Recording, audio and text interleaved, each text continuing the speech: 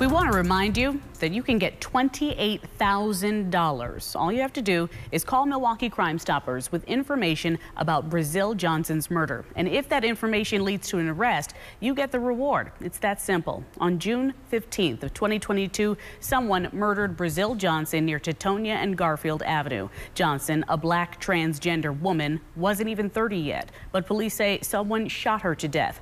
Michael Hupy of Hupy and Abraham pledged $25,000 and Milwaukee's LGBTQ Community Center and the Cream City Foundation donated $1,000 each for reward money.